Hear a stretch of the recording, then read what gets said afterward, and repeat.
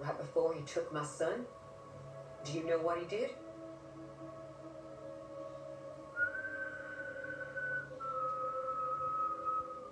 That rings a bell, doesn't it?